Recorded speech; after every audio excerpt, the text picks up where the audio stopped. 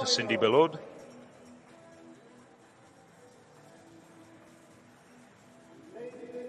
So, Lena Jiranova.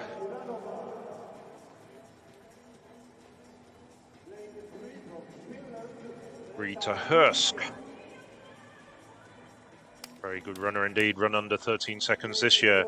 Now, the reigning European champion, Elvira Herman.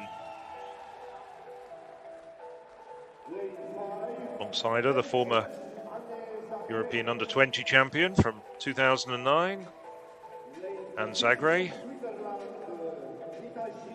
Ditaji Kambundji, well, the sister Mujinga isn't here, and she would have been a fine addition to the Sw Swiss side, but Ditaji is.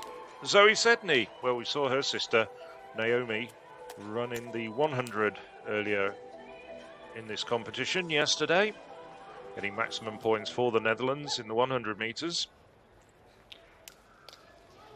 So from the inside, Jiranova of Czech Republic, Hurske, Finland, Herman, Belarus, Zagre, Belgium, Kambundji, Switzerland, and Sedney of the Netherlands. Hurske, Herman, Zagre, and Kambundji have all run under 13 seconds this year. Favourite, I would imagine, to be Elvira Herman in lane four.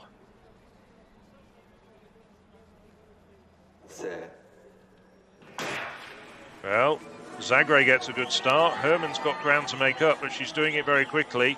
On the outside, Sedney running very well as well. But Herman now starting to put some distance between herself and Zagre. Herman fulfills her role as favourite. Nice run there.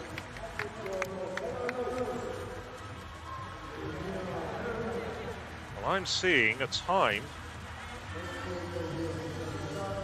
A very quick time indeed. I want to see a replay of that because it's showing 12.62, and if that is right, that is an astonishing time. it's a Belarusian record, a championship record. To see confirmation of that.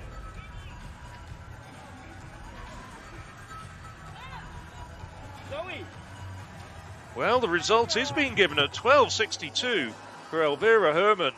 There's nothing in her form this season suggested that was in the bank. What a terrific run from her. Personal best, championship record, national record. And she got a good start and then just really poured it on.